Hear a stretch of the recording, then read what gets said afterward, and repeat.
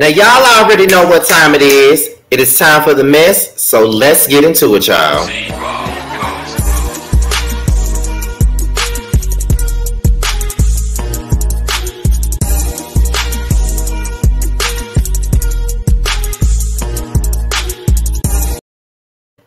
What's going on, you guys? It's me, your boy Scotty by Nature TV, and we're here for a brand new episode of Yes for the Mess, okay? And we're here once again to discuss Sheree Whitfield and Martell Holt once again. Now, I'm on my laptop because my mic has messed up, okay? I was, I was, this is my second time filming this video.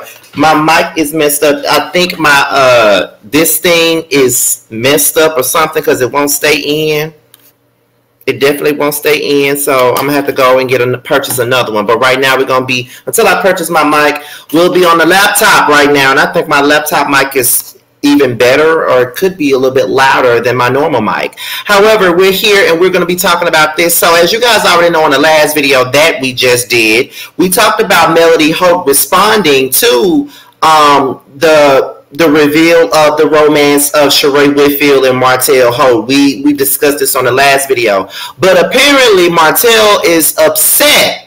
Now we got this tea from TGIF, which is on Fox Soul, and I watch it from time to time, and it features Claudia Jordan, um, Funky Dineva, and um, Al Reynolds, whatever. Um, I don't like Al, y'all. Um, now, they was talking about the story itself and how Sheree confirmed it, but Funky Dineva said that he got a friend that's in the media that's close to Martell saying that Martell Holt is pissed that Sheree has put this out, that they are in a relationship. He That's not even his type. He is only here to fix a pool for Sheree and nothing else, okay? That's what Funky Dineva said that this media person told him. So what we're going to do is we're gonna listen to an audio of this episode of T TGIF, and we're gonna um play it for you guys. I got my Bluetooth. I don't know how this shit gonna work out because I'm not on my uh, desktop with my mic. I'm just on my laptop, but we're gonna see how it works, child. So let's go ahead and get into it. Let me put this up and let's get into the tea, y'all. We have an update on Joy Whitfield's love life. Sheree confirmed that she is indeed dating Martell Holt and that she has already introduced him to her friends. The pair were also captured in a video provided by TMZ showing some public display of affection. Are y'all rooting for this couple? Q, I know you made a, a, a video of it. So, of the story. What do you think? So here is what's interesting. I spoke to one of my colleagues in media who has a very close relationship with Martell Holt and according to her, Martell Holt is pissed and said that he and Sheree are not together, said that Sheree is not even his type, that he is building a pool for Sheree and is working closely with her pulling permits and so on and so forth, that he is not with her and that his phone was ringing off the hook all day that day and that he is extremely upset that she said that. So I don't know what the truth is at this point because on the flip side of things, Sheree has never struck me as the type of woman who would go around claiming a man that's not claiming her. And I don't know how, in any way, shape, or form, she's incentivized or rewarded for attaching a body to her. But according to our media colleague that knows Martell, he's extremely upset and said that she's not his type and that they, are not together.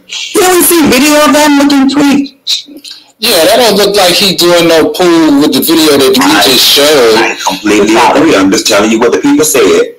Also, Claudia, I'm gonna give a shout out to Freddie O because Freddie O just conducted an interview with her. He caught up with her, and in the interview, he asked her point blank, "Hey, what's going on with you and Martell?" And she shared the skin, and she said that you know that they are hanging out, that they're spending time, and that they were introduced through mutual friends. Now, I've known Sheree to do a lot of things, but I don't think she has to lie about this one to the point where he's disgusted. That's kind of weird. I I agree. Um, now I don't know Martell, but from the little stuff that I hear about the show, he doesn't. It seems like he is not going to maybe tell a lie or two.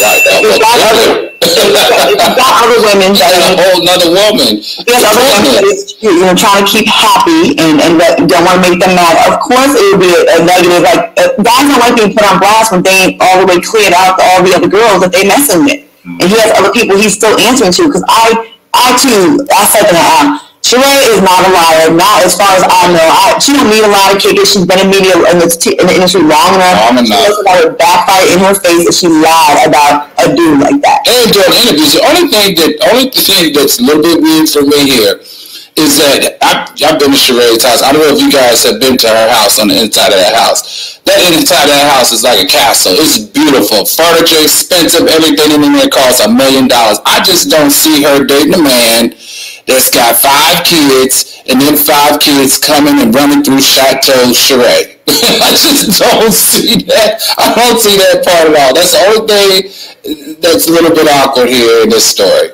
And Sheree, if you are dealing with him, which I do believe you are, and he has the audacity to tell people that that that you know he deny you, please run from him because you deserve a man that will probably claim you. You don't need all that nonsense. He, he said, Sheree, if you want to know who he told it to, Get my phone number from Cynthia Bailey and call me. I'm gonna text her after the show. She can get it from me. I'll tell. Oh, oh, I'll call Al and I'll tell you exactly who we told it to. Okay, we're gonna we're gonna connect y'all two after the show. All right, and that was the tea that Funky Dineva spilled on TGIF. And of course, Claudia Jordan and Al Reynolds also had some words to say about it as well. Now, let me get into what Scotty by Nature TV got to say about this situation here. Let's let's let's talk about that. Now, listen, I feel at this point, and y'all know I've been digging into Sheree's ass all this season, only based off of the shit that she has been doing on the show. So y'all know I've been all on her ass all season. But we're gonna keep it all the way a buck here. I would hope that Sheree, I well, even when I was reporting on this, I felt like Sheree like jumping up to really put this out there that she's dating a man with five children and a man that really ain't got nothing going on with his life. I felt like she was jumping to conclusions by doing that. I mean, that would not be something that I'd be jumping up for joy to be talking about, especially with the rep that he got and knowing what he has done over the last two, three years right now. I would have not been jumping up for joy to be revealing him. I get it. You was with a ex-con, you know, this man did you dirty, did you wrong, like Pleasure P, I did you wrong, you did me wrong, I take you back, you take me back, all of that other toxic shit that y'all like to do, okay? We know this already. But at the same point in time, though, it's, it's kind of like, I don't feel like Sheree is lying about being with this man. However, do I think that Martell is lying? Most definitely. I think the reason why he's upset is because he got other women. He's still messing around with other women. He's still doing his thug thizzle, and that is why he's pissed off at Sheree for going out there putting it on blast. See, he feels like he's being blasted. See, he probably feel like, oh my God, this motherfucker that went out here and told these folks that I'm that I'm with her, that I'm that we are in a relationship with each other, talking, telling these folks I met our friends and shit like that, and then you fucking up, you fucking up what I got going on with my hoes. That's what I think he's doing because Martell is the type of man that'll get mad over some shit like that. And I just feel like this. Sheree to go on to cut her losses. But one thing I will say is that I'm glad that Funky Dineva and all of them was up there saying, trying to get her connected to the, the person that said it because that that is real foul if Sheree got her ass up here and announced this relationship and it's really not a relationship or she didn't get up here and announce this relationship all happily and shit like that, and it ain't even going down the way that he portrays it to be going down. You know, it may not even be her fault. It may not even be a situation where she's lying.